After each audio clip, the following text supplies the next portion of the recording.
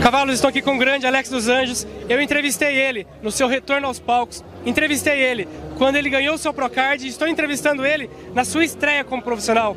Como é que você se sente nesse dia? Estou me sentindo um grande campeão. A melhor coisa, o melhor troféu que eu recebi foi isso aqui, ó. O público vem cá tirar foto comigo, vem me vem conversar comigo. É, foi o quarto lugar, vai com sabor de primeiro. Tenho certeza que na próxima competição vou chegar melhor ainda. E eu tenho que agradecer a Deus, agradecer a Deus por estar aqui e pelo público dos meus fãs também.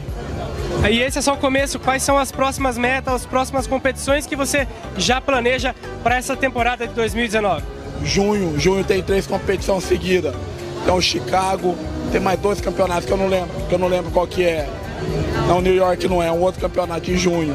Eu vou nos três seguidos, que é todo final de semana, para poder somar essa pontuação.